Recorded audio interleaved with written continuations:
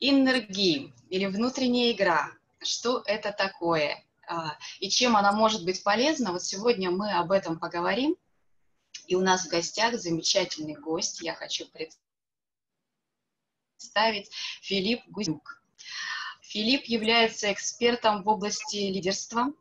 Он является партнером Института коучинга в Санкт-Петербурге. Это коуч, тренер и консультант в Menta Integral Association США. И Филипп – автор «Счастья деятельности».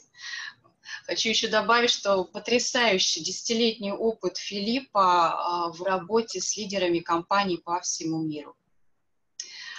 А, рада вам, друзья.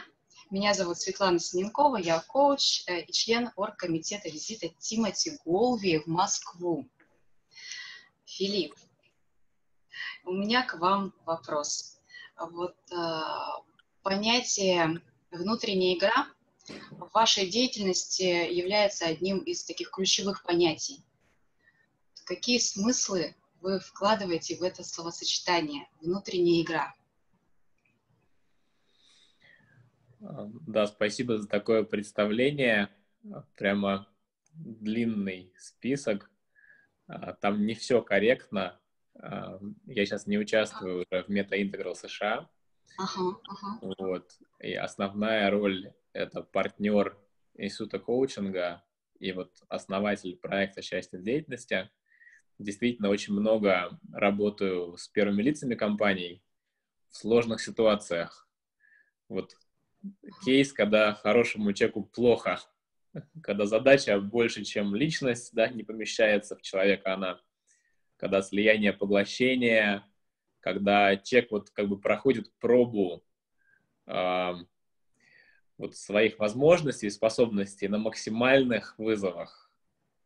И это моменты, в которые внутренняя игра особенно очевидно влияет для меня внутренняя игра — это внутренняя модель деятельности человека, внутренняя мастерская художника, внутренняя мастерская предпринимателя. Как названо, как оконтурено это поле. Как бы, что я делаю, делая свою работу.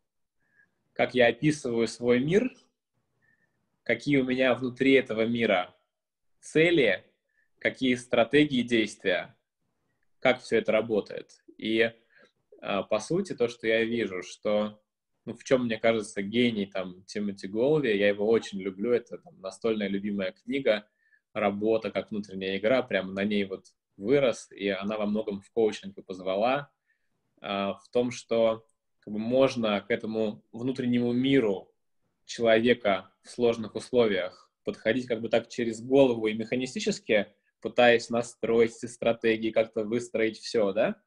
А есть очень красивый, легкий вход в это, когда ты доверяешь тому, что внутри есть что-то там, body-mind, да, что знает как, что само способно оптимизировать эти стратегии, если ты дашь этому возможность проявиться. Поэтому, по сути, для меня внутренняя игра — это довольно тонкая методика, которая позволяет дать возможность истинному потенциалу человека проявиться именно в те моменты, когда интервенции, да, напряжение, сложности больше всего этому мешают. Когда, знаете, на тренировках все играют в баскетбол, да, и все забивают спиной, там, да, сверху закладывают в кольцо, легко отдают пасы, все теплые, разогретые, все получается. Люди выходят на площадку, на игру ключевую, да, там, сезона, и все как бы такие закаменевшие, да, они делают половину того, что могут сделать в рассадном состоянии. Вот внутренняя игра для меня это про то, как в самых сложных и больших вызовах, которые в опыте есть, включить естественного, спокойного, теплого, полноводного себя. Вот об этом для меня история. Филипп, столько метафор я сегодня, сейчас услышала, и э, ключевое слышу моменты максимального напряжения, да, моменты максимального вызова и вот эта внутренняя игра, которая позволяет включить, такая интересная у вас там а, метафора была, связанная с а, боди, вот это слово мне я зацепила, если поподробнее, что это такое. Об этом, об этом говорит э, Тимоти Голви тоже, в, ну, в том числе, что как бы у каждого из нас есть такой small self, маленькое я, да, и big self, большее я. И э, вот это маленькое я, да, это я, которое вот, ну, а как такой калькулятор может элементарные вычисления производить. Mm-hmm. А большое я — это такой суперкомпьютер. И большое я включает телесный интеллект, эмоциональный интеллект, весь доступный тебе опыт, да, там кто-то говорит про ноосферу, кто-то не говорит про полевые истории, да, ты считываешь сигналы какие-то. Ну вот а, как это почувствовать? Вот бывает такое, что ты в состоянии какого-то стресса, страха, скованности настолько, что ты как бы не можешь два слова связать, да? Ты даже свой теле- номер телефона не можешь вспомнить. Часто бывает, когда там робкий какой-нибудь мужчина или девушка на первом свидании, вот такое состояние, когда ты, ты как бы такой весь вот какой-то потерянный и неловкий, и неуклюжий, да? Вот. И то же самое в деятельности. В какие-то моменты вот, ну, перформанса своего, будь ты спортсмен или бизнесмен, у тебя есть такие моменты скованности. И это эти моменты, в которые выигрывается или проигрывается, проигрывается игра. Ну, классический пример, когда у спортсмена Агаси, да, у него прекрасный там смеш, у него прекрасная подача, там эйсы он просто пробивает. Но вот бэкхенд у него хромает. И в той игре, в которой он справился с собой, настроился на большее я в элементе бэкхенд, он гарантированно человека разносит в клочья просто противника. Да? Если он в этой ситуации свой бэкхенд не, вот, не, не смог в нем расслабиться, да, то он проиграл игру. И классный профессионал — это тот человек, который знает, где у него области, вот это критические области его игры, и умеет в них привносить это вот, ну, вот big self, большое я. То есть вот быть в них легким, тягучим, пластичным, подвижным, энергичным, да, вот когда ты вот ты, ты в ударе, ты на волне, ты в потоке. И красота методики, которую вот Тимоти Голый предлагает, она очень непростая на самом деле. Она описывается просто в книжке, но ее сделать, как бы, ну, даже как коуч ее применить реально, это очень непросто. Это высокий уровень профессионализма нужен для этого. Вот. Но красота в чем? Потому что ты используешь само напряжение, вот те самые моменты, которые сложные, для того, чтобы превратить их в, как бы, в дверь в расслабление через наблюдение.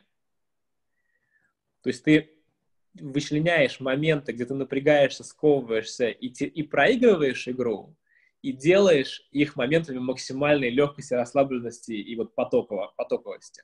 И это, конечно, как чудо работает. Но у меня много примеров, когда как бы человек вот берет, и там до этого годами вообще никак, и все тяжело, и вот капелька внимания попадает в эти моменты, и трансформация там на уровне, ну, на уровне чуда результата.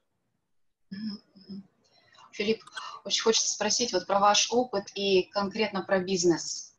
Вот для лидеров какие-то, может быть, примеры. Чем это полезно для лидеров, для руководителей, для предпринимателей? Давайте историю расскажу. Как бы тут ничего нового по структуре. У каждого руководителя, предпринимателя есть моменты, в которых он все сливает. А. Ну, люби, любимые детские грабли, на которые ты наступаешь. Да? И, ну, прежде всего, любая победа — это победа над собой. То есть ты преодолеваешь себя в каком-то из значимых моментов, где ты обычно все сливаешь.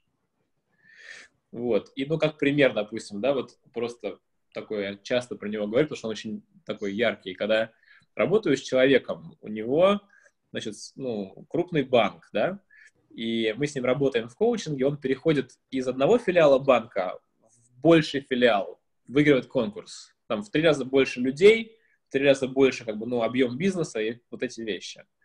Вот, он туда переезжает, и выясняется, что там его не ждут. Как бы там команда хотела другого человека, его начинают сливать. И сливают как? Просто информацию не дают, да? Наверх э, рапорты какие-то идут, которые он как бы не может контролировать а вроде бы договариваются что-то сделать, не делают. Стрелки переводят на друга люди. То есть команда явно его сливает. Мы с ним работаем, так по скайпу, да, он спрашивает у него, как, как это происходит, что ты делаешь? Говорит, ну как что, на совещании сидим, чувствую, что вот это вот в воздухе все происходит, я, говорит, напрягаюсь, начинаю на них давить. Я говорю, ты напрягаешься, начинаешь давить? Он говорит, ну, в общем, да. Я говорю, ты с ним прям вот такой? Он говорит, ну, прям вот такой. Да? Вот мы поймали точку напряжения, да? Напряжение поймано. Вот. Я говорю, слушай, я про него знаю, что а, он очень хороший B2B переговорщик. Ну, мы просто работали с ним несколько сессий до этого.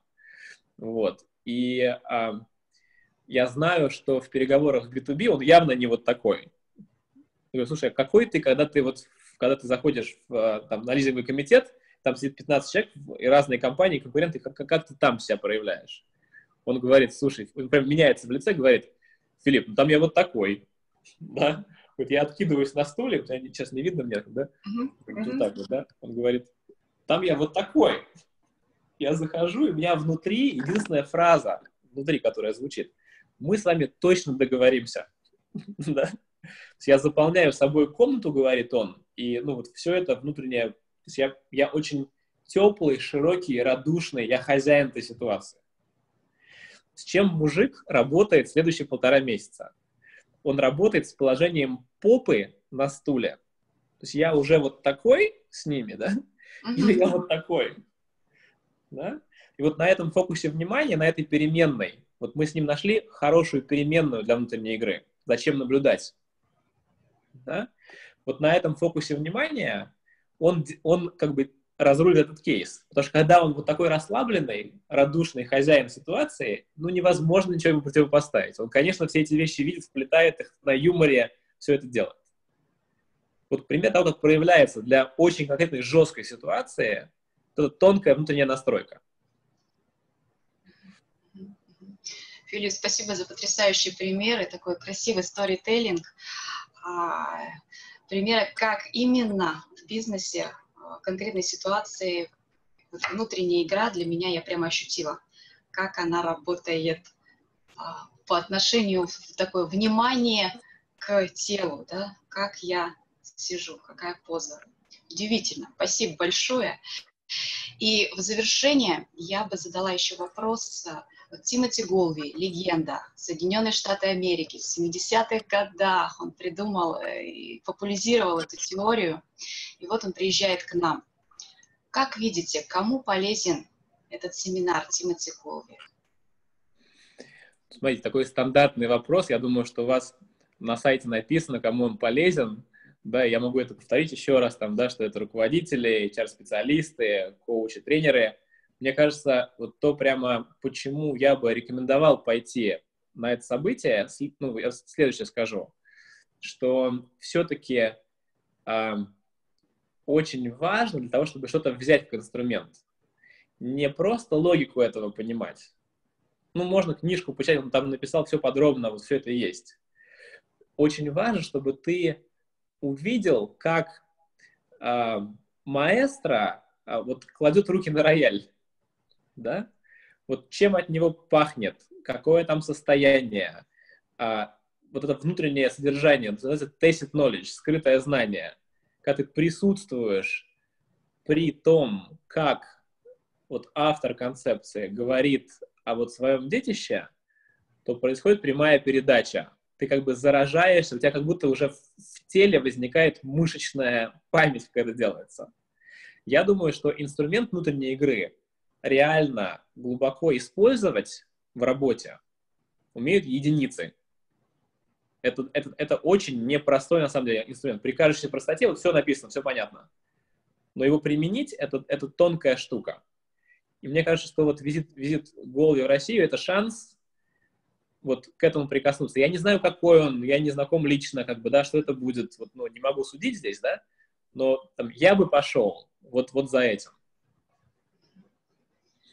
Спасибо, Филипп. Спасибо за этот uh, термин маэстро. Маэстро будет э, в Москве 24-25 ноября. Всех ждем. Коллеги, это уникальный шанс прикоснуться. Вы, вы правы, прикоснуться, впитать в себя. Спасибо еще раз. Очень рада была с вами лично познакомиться. И завершаем. Спасибо, Светлана.